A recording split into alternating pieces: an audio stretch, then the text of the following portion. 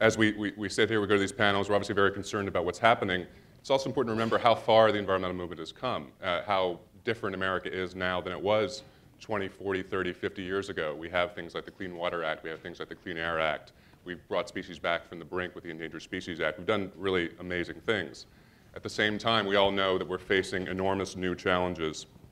Um, we face climate change. We face new energy, the choices between new energy sources. We, we, we, face a very different political atmosphere than we, than we did 40 years ago. We face a very polarized atmosphere.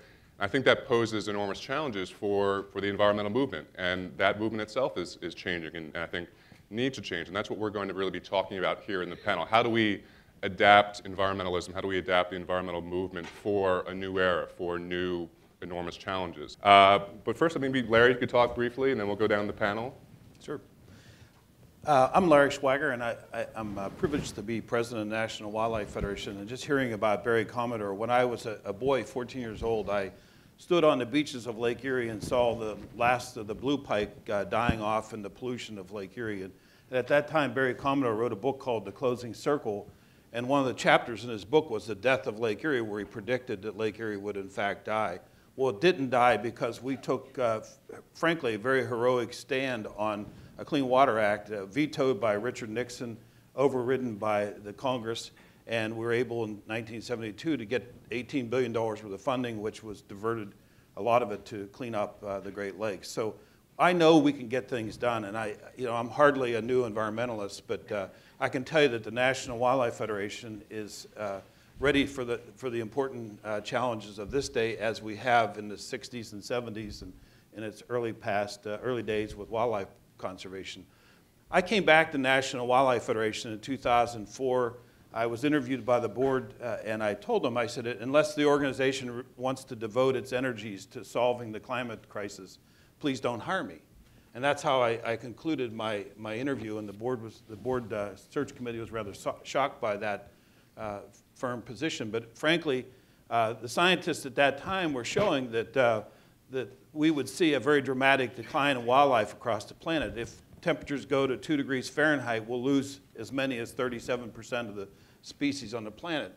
And if you do the math on that, that's around a million species. If it goes to 4 to 7 degrees, we'll lose about 70% of the species on the planet. I think it's hubris to assume that we can throw off the 30 to 70% of the species on the planet without destroying human life. And so I'm uh, deeply committed to uh, being a voice for wildlife, uh, being a voice for wildlife during a time when uh, it's, it's urgent, and focusing on the right issues. I think getting carbon out of our sky is that right issue. I uh, join with, uh, with, with my colleagues to, to make that point clear that we have a very short window of time to act and act now. The Federation is working with young people on college campuses. We're doing a number of things with uh, sportsmen and hunters, and even the, the uh, Christian Coalition is one of our partners. So we believe in building a big tent, working together with literally hundreds of organizations to solve this and other important issues. Okay. Ted? Oh, actually, sorry, Bill, actually, you wanted to go first. Yeah. whatever. Um, uh, first of all, what fun to be here, and what fun to hear Dr. Commoner uh, saluted in the beginning. When I was in college, I wrote an, the editorial for our college newspaper, for the Harvard Crimson, endorsing Barry Commoner for President of the United States when he ran in 1980. Um, um, he didn't win, some guy named Reagan um, um uh, won, um, but uh, uh, he was a great and powerful uh, uh, uh, thinker. Um, look, I don't know about the new, I mean, you've got you know, for the new environmentalists, you've got three guys with receding hairlines up here on the, um, um, and mine's been receding faster in the last couple of years as we've tried to, as I've, as Bryan says, tried to also do along with writing some organizing. Um, it, it, truth be told, we're losing, and losing pretty badly. The, um, the melt of the Arctic this summer was one of those signal, I mean, we've basically broken one of the four or five largest physical features on Earth. And, and the rest are close behind. When one reads that, um, that the ocean is 30% more acid than it was 40 years ago, one gets a sense of the magnitude of the problem and of the challenge. The only thing I can tell you is that one of the ingredients, there are many ingredients, you know, uh, getting policy right, so on and so forth, that other people are more, probably in certain ways, more qualified to talk about than I am, and I'm eager to hear Ted and things. One essential ingredient is having some kind of movement big enough to push the powers that be in the direction, uh, just in the crudest sort of sense, in the direction that we need them to go. And that movement's beginning to build. You know, we started 350 less than five years ago with myself and seven undergraduates and no money. Uh, we still have no money, but now we have uh, operations in every country but North Korea. Um, and we've begun to demonstrate that there is a big worldwide, and, and one of the ways, of course, that we've been able to do it uh, largely with no money is because everybody I work with is 25, and they all figured out long ago how to use the tools available to us. Uh, they're not the same tools that people had in 1970. We miss a lot of the societal cohesion that allowed people in groups and networks to pull up things like the first Earth Day, but we're building as fast as we can in other ways, and we're incredibly grateful to everybody for the help with all that work. Great. Ted? Uh, thanks, and, and again, really a pleasure to be here. Thanks to uh, South by Southwest for having me um, and having all of us. I think it's a great discussion. Um, I guess I would uh, sort of make a couple of observations. Um, you know, uh, my partner Michael Shellenberger and I, and I sort of became uh, famous for writing an essay called "The Death of Environmentalism," um, and um, really that essay, um, as much as being about why environmentalism was failing was about how environmentalism, in our view, would need to change uh, in order to deal with problems like climate change. Um, uh, and, you know, I think at the center of that argument is, is um, you know, our view, which is that the sort of contemporary environmentalism as it has evolved over the last three or four decades really is incapable kind of conceptually um, in terms of how we think about the world of dealing with the new great ecological crises that we're faced with. Um, uh, we are well on our way to being a world of 10 billion people. Um, uh, they, uh, they all want to be rich like us. Um, and all of uh, that's the, the, the, central question. Um, that is a generative challenge. It is not a restrictive challenge. Um, the only way you do that is by building, you know, brick by brick, literally, um, uh, uh, windmill by windmill or nuclear power plant by nuclear power plant, choose your technology of choice, an entire new energy economy, an entire new agricultural economy.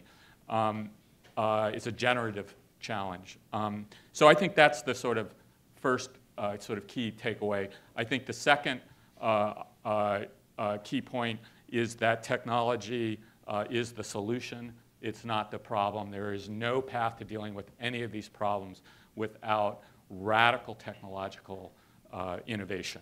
Um, uh, you can't get here from there. Um, uh, there's uh, climate math and there's also uh, sort of technology math that we really need to come to terms with if we're going to deal with the problem. Um, and then I think the third thing is just more philosophical. Uh, I think it's very easy looking at these problems to um, become very apocalyptic. Um, and I would just remind us that we have risen, not fallen. Everyone sitting in this room lives, um, arguably, uh, you are the most remarkable human beings who have ever lived on this planet. You, you live lives of just extraordinary opportunity, uh, uh affluence, freedom, um, to be who you want, to do what you want, to live where you want, to marry who you want. Um, this is remarkable, um, and we should have some gratitude about it. And I think um, there's been a tendency not to want to recognize actually um, all that is sort of good in the world and all that is good about modernization for fear that it will make us complacent um, and not want to deal with the problems. But I would argue that it's exactly the opposite that when we actually express some gratitude for the remarkable lives um, that we live, it actually sparks um, a desire to make the world a better place and a belief that we can do so, as opposed to um, a kind of fatalism uh, when we sort of tell these declinist narratives and when we imagine that we've sort of fallen from a state of grace in our modern lives. Um, so I think at, at a philosophical level, there's a very different story that we need to be telling about the world that we live in today. Even if we, even if legislation will be able to make those changes, we, we can't seem to get that legislation passed. And I'm wondering if you have any thoughts on a why that is. I mean, what you know, what why we no longer seem to be able to do that, and is there a way to get there? Because you know, how do you cross partisan boundaries? I mean, how do you how do you reach out? Because I know you guys have tried to do that in order to create maybe the kind of legislation that would begin to move us in the right direction. Well, I, I guess I'd just start by asking, uh, are there any climate skeptics in the room? Nobody. Um, They're in Austin. yeah. So I mean, so I mean, start start there. I mean, you know, we go and do conferences like this, and we all talk to each other about how bad the problem is. Um, and um, you know, uh, there's a whole there are other big rooms like this filled up with people who talk about why it's not a problem at all.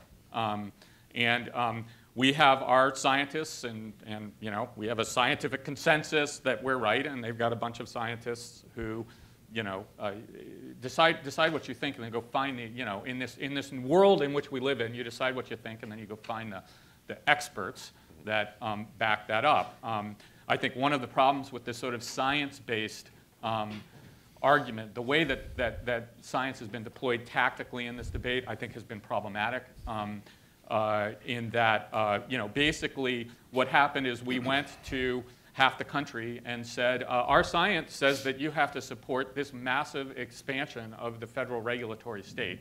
Um, and, and, and if, if you don't support that, you're a science denier. Um, and half the country basically said, well, I don't think I like your science. Um, they didn't decide that therefore they should go along um, with you know, what was something that was quite ideologically problematic for them.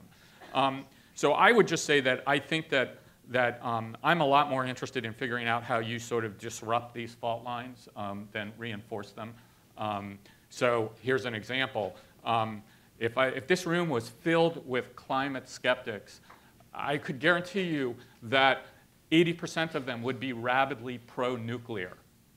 Um, so uh, if, if you really want to try to break up the polarization around this, um, you know, for those of us who are climate advocates and feel great urgency about the problem, I think we would be well served to sort of rethink our kind of um, uh, uh, instinctual uh, opposition um, to nuclear energy. Um, here's another example, even more controversial these days. Um, U.S. emissions are declining faster than any countries in the world, in large part because of fracking, and not just because we've got a lot of cheap gas and therefore it's displacing coal in a market system, but because it puts the wind at the backs of a whole lot of activist efforts. The fact that we have lots of cheap gas makes it lots easier to convince communities, utilities, others to close down coal plants. It made it much easier to get stronger EPA regulations on mercury. Um, there's a bunch of problems with fracking, but when you compare those problems to a set of the problems we have with scaling things like renewable, they're pretty solvable. It's mostly plugging leaks. Bill, frack, you know, I know that you, you guys have begun to look at fracking and Mm-hmm. spend a lot of time on fracking. Um, and clearly, anyone who works in the environmental movement knows, I think, that that single issue has generated more grassroots pressure, more grassroots passion, really, than I think anything else, including climate change. And I'm wondering, you know, why is that? And, and do you, you know, you to respond to Ted. I mean, No, I just, yeah, I mean, is it, go ahead. I mean, there's lots of reasons that people are against fracking, most of them having to do with the uh, immediate effects, and they're really horrible on the landscapes where people live. But um, the reason that in the last uh, uh, year or two, uh, most of the people who are excited about it for climate reasons have changed their minds have to do that just that the numbers aren't right. I mean, everybody said, oh, it's the reason our carbon emissions are dropping, but there was a big paper out of Stanford two weeks ago saying no, it accounts for about 10% of the decline that we've seen in carbon emissions. It's undercutting the move to wind much faster than it's undercutting coal, and at best, it's a kind of fad diet that will that will put us on a permanent, slightly reduced plane of carbon emissions instead of allowing and kind of blocking the transformative breakthroughs that we need. And that's assuming that's assuming that uh, Ted's right, and it's going to be an easy matter to block up the methane leakages into the atmosphere. So if the carbon gets you, I mean, uh, the IEA modeled the whole thing. We convert the entire planet to gas on an absolute critical timescale. What happens to the planet what happens is 660 parts per million CO2 and a temperature increase of almost 4 degrees centigrade. If you don't transition to something Yeah, else. Yeah, Right. you know, but that's, But- in, but in, that's that's a- in the process, I mean, that's, they're modeling a system that goes faster than anybody thinks you can, you know, even get us onto gas at the moment. Um, um, What the point is that it's blocking, it's not, it, it, Well, were it's also it- were it enabling being- wind, isn't it, No, it's not. I mean, in I this mean, country, it's clearly with- not. well, It's with cheap exactly backup. the opposite. uh, You can't, you Uh, can't run a system on wind without, Oh, without, that's- without that's backing, the other without thing, once- backing it up. That's the other thing where the sort of old dogma is giving way to the new science. In fact, there was a big, uh, uh, uh, big study out of Britain about 10 days ago saying, just looking empirically, is this what's happening as we're seeing big increases in wind generation? Are we also seeing big increases in gas use as, or, online to back it No, up? I- I- I and, w- and we're not. Uh, it's because we're beginning to lick these intermittency problems, and that's really But, good news. Bill, it's the technology that you keep talking but- about But actually, that's uh, helping us just, make just to be clear, though, what that study found was that uh, was that the um, uh, uh, there has been an argument by wind opponents that wind was no better Right. than gas. Right. And what that study found was that in fact wind is better and it gas. wasn't requiring huge amounts of gas to well, make it, it, work. it wasn't found, requiring so much gas to back it up that you were losing the benefits of having yeah, a I don't think we're having. I don't think we're having intermittent system, huge, right? Huge difference Yeah. here. It's clear. I think it's pretty clear at this point that fracking the cheap gas isn't a kind of bridge to the future, which was the rhetoric people kept using. That instead, it's sort of building the pier further out, this kind of rickety pier further out into the hydrocarbon lake. You know. But I want- Hey, oh, hey, hold on, wait. can I, I just want to say sorry, one thing, which is that Bill cites a lot of studies. And, and there's a bunch of studies out there, and it's just what a colleague of mine calls an excess of objectivity. If, if, if you're anti-fracking, you can do a study that shows that there's no benefit whatsoever to this gas. And of course, it's all dependent on how carbon intensive you think a coal plant is going to be in 2070, and whether you assume that gas is a transition to something or it's just gas for all eternity. I've been- Simi- Well, I sim- would- sim- I've been similarly, of- I want to back out of Sure, yeah. fracking for a I second. mean, I just, say- I just, I, all I I- want to say, if I I was can to just, say, can I? accused yeah. of many things, but excess of objectivity is a new one, and I'm grateful for it. All right. On the, uh, all, all, all, all I want to point out is that is that um, uh, there's a, there's a lot of um, you can you can actually look at the you know there's studies people who don't like it say it's had no impact on emissions or it's only 10 percent you know and I can tell you the eight things that are wrong with the assumptions that go into that you get people who exaggerate it the other way and say it's all gas and we clearly it's not that I think clearly there's, there's short and medium term benefits, and the question is what you do with it. But my larger point was just that um, when we kind of react to these things in these sort of immediate, it's, it's gas, it's a fossil, so it's bad. Um, uh, and then we go and we find the evidence that supports that. And if you want to break up the polarization, which was to your original question, I think we're really well served to uh, question some of those instincts. Um, Okay, Larry, real quick. and If I might respond. I, I- I'm from Pennsylvania, so I'm living with the fracking, and I understand, Bill, what you're talking about with landscapes. Uh,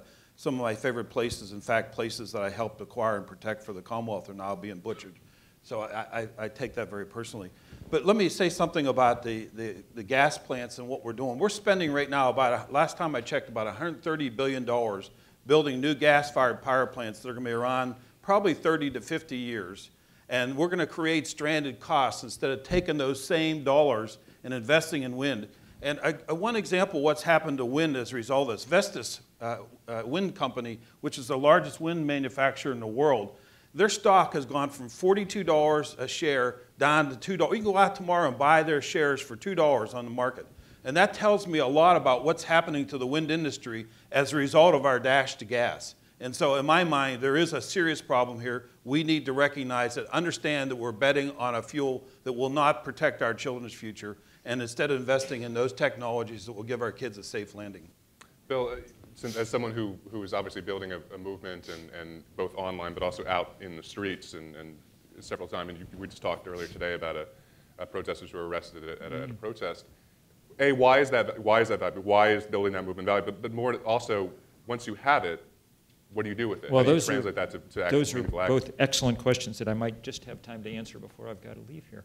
Um, look, uh, uh, you build movements because the other side on this fight is incredibly powerful and incredibly rich. They have all the money. Exxon made more money last year than any company in the history of money, okay?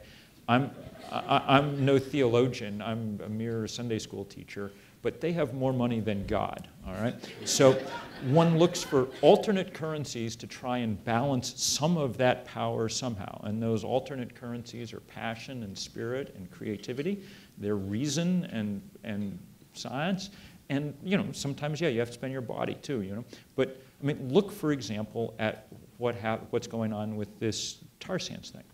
Last June, our most important climatologist, Jim Hansen, says, you know what, people might want to pay attention to this because the economically recoverable reserves from this thing make it the second largest pool of carbon in the world.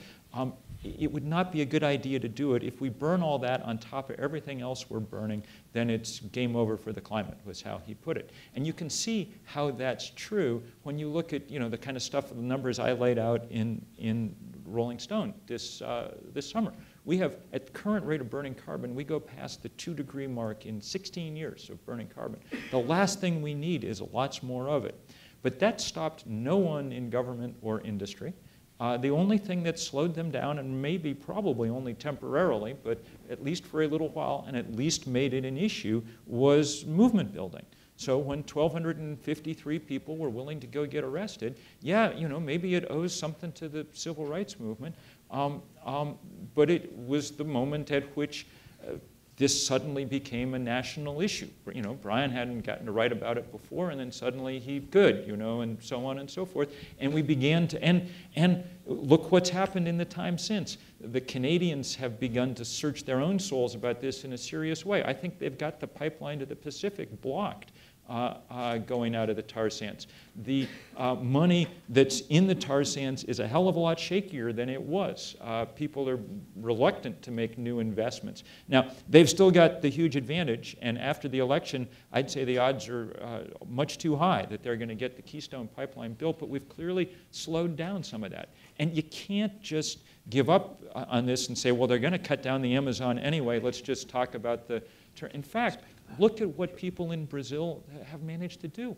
When Marina Silva, who was the Green Party candidate in the last election, ran, it was not like Ralph Nader running. She won 20% of the vote. Here's a rubber tapper from uh, uh, you know, the middle of the Amazon, and she won 20% of the vote. Um, they've got a huge and building environmental movement, and it's done some remarkable things. Uh, uh the Amazon is in endlessly better more intact than people thought it would be 10 or 15 years ago. And it's not for any other reason than people building powerful movements and for good scientists working through things like the Nature Conservancy. I mean, I, you know, I'm on the board of the Adirondack Conservancy. I like them. Uh, uh, and Larry ran them in Pennsylvania. You know, you know, argument with us about any of that. But, you know, that kind of, it doesn't happen without people being uh, uh, alarmed. And if it, you know, sometimes it, uh, you know, sort of offends people. It's like, oh, it's too almost too much like the 60s. It's too whatever. Uh, uh, we obviously know how to work in the 21st century. We use those tools. Mm -hmm. But the old tools, too, the tools in essence that remind us that there is a deep moral challenge here, a moral challenge as well as a technological and a practical and financial and whatever kind of challenge. In fact, it's the biggest moral challenge in that dimension that we've ever faced. The decisions we make in the next very short order determine what life is going to be like for those 10 billion people and also for the, you know, completely conceivable 30 or 40 billion who will follow over the next millennia or two, you know. It's going to determine what life is like for the rest of creation. These are big challenges and to just say, oh, it's, you know, don't play the sort of 60s stuff. It's too, you know, uh, uh, uh, to be too grown up for that is um, um, that's as much a mistake as assuming that that's the only thing that one needs to do. Uh, it's this collaboration. And with yeah. that, I've got to take it off. Good to see you, brother. Good to see you, brother. Good luck.